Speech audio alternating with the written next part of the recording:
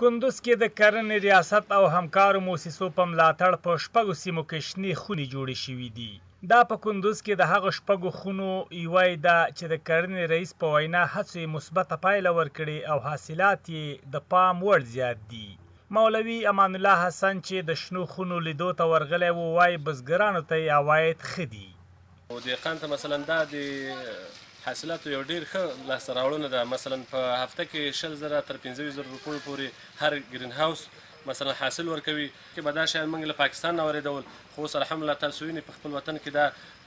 موږ تولیدات لرو دې لټه کې ریاست زراعت ته په همکاري د موسساتو سره غواړي چې ولس ته داسې د کار زمینې نور هم زیاتې فراهم کړي زیاتې کړي او موږ د ولس په چوپړ کې یو تر څو چې د موږ په لاسو په وس کې شي کېږي هغه ولس نه نه درېغو دي. د کرنې رئیس وايي، د نورو شنو خونو په جوړولو هم کار کوي چې د بزګرانو اقتصاد به ورسره پیاوړی او هېواد به د کال څلور موسمه تازه ترکاري ولري. که هاوسونه جوړ شي نو موږ د ترکاري باب له پلوه په خپله په خپل وطن کې په خپله مثلا خود کفا کیږو بیا ضرورت دې ته نشته چې له ایران نه یا له پاکستان نه موږ داسې سبزیجات وارد کړو بلکې موږ به خلکو ته ورکوو او ان شاء الله د ریاست زراعت دا هڅې دي موږ کارونه روان کړي دي په کندوز کې الحمدلله موږ به داسې تولیدات لرو چې خارج ته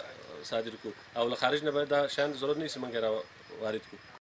بزګران هم د شنو خونو حاصلاتو ته خوشحاله دي او په دې برخه کې د لا ډېر کار غوښتنه کوي. اوس به الحمدالله موږ ډېر مطمئن یو چې که داسې کارونه نور هم وشي، نو داسې شیان چې موږ د نورو ګاونډي هېوادونو نه راوړل، دلته به خلکو ته په ډېره ارزانه بیه باندې او په کال دوولس میاشتې دا حاضر وي، انشاالله. چې کوم رومیان به بېرون کړي یو، یعنې شنې خونې نه بهر، په من هم په دېرش روپۍ، په شل روپۍ ورکړو، پاکستان ته لاړ، هغوی بېرته په موږ ته راوړي، پوان په پنځه سوه، شپږ سوه تر اته سوه روپۍ باندې موږ باندې من پلوري. که موږ داسې شنې خونې جوړې شي او رومین پکې وکړو نو موږ کولای شو په ارزانه بیه په خپل وطن په خپل ولایت کې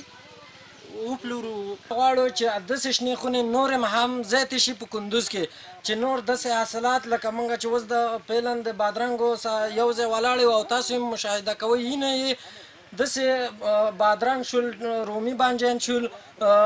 بانجان شول، بېنډۍ شولې، نور دسې شنه سبزي باید هم مونږ پخپله همدسې تولید شي چې په افغانستان خپله متکي شي. کندوز چې د مناسبې هوا له کبله د غلې دانې د کندو په نامه هم یادېږي، اتیا سلنه اوسېدونکي یې بزګران دي، خو تېرو جګړو او پرله پسې وچکالیو سخت ځپلي. او اوس له حکومت او مرستندویه موسسو د ملاتړ غوښتنه لري. عبدالله ساحل، شمشاد نیوز، قندوز.